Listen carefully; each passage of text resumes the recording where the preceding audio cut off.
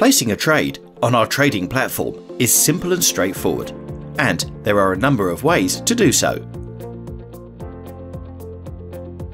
You can bring up an order ticket by clicking on any buy or sell price you see within the platform.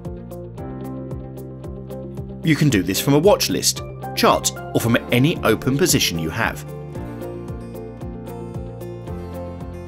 Most clients prefer to trade directly from the chart and the next generation platform offers you the ability to do this.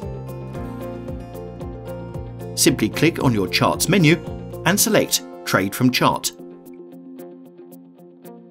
You'll then notice that an order ticket appears to the right of your chart, where you can enter the details of your trade. You can also edit your stop loss and take profit levels directly on the chart by dragging and dropping the lines at your desired price level, like this.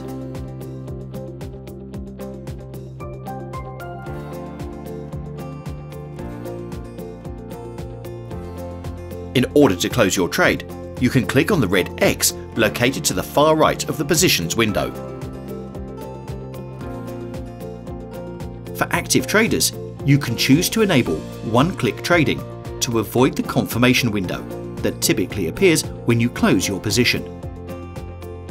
For more information on our platform, visit our website, or alternatively, chat to us online by selecting Live Help from the support menu.